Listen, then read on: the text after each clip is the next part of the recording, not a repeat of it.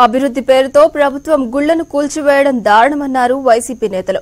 కనీసం సమాచారం లేకుండా నోటీసులు ఇవ్వకుండా గుళ్ళను ఎలా కూల్చుతారని ఆరోపించారు. రోడ్ల విస్తరణ పేరుతో అమాయక జనం ఇళ్ళను కూల్చివేస్తున్నారని వైసీపీ నేతలు ఆగ్రహించారు.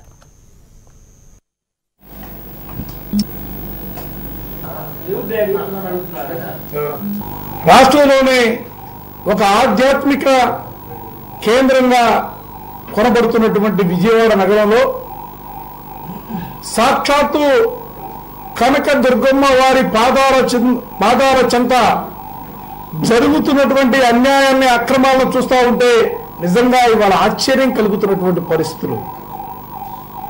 ఇప్పటికే ప్రజల మనోభావాలు దెబ్బతినేలా ముప్పై గుళ్ళని అర్ధరాత్రి పూట నిజంగా ప్రభుత్వానికి అభివృద్ధి పేరిట అవి అడ్డంకులుగా మారితే దానికి సంబంధించినటువంటి నిర్వాహకులకి నోటీసులు ఇచ్చే కార్యక్రమం కానీ పట్టపగలు వాటిని తీసివేసే కార్యక్రమాన్ని శాస్త్రోదక్తంగా తీసివేసే కార్యక్రమాలను ప్రభుత్వాలు తీసుకోవాలా?